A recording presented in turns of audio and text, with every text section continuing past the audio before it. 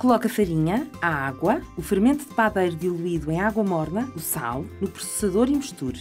Deixe levedar durante uma hora ou até dobrar de tamanho. Tire a pele do chouriço e corte-o em finas fatias. Distribua pela massa. Corte a massa de forma a obter pequenos pães e enfarinhos. Leve ao forno de lenha durante mais ou menos 20 minutos.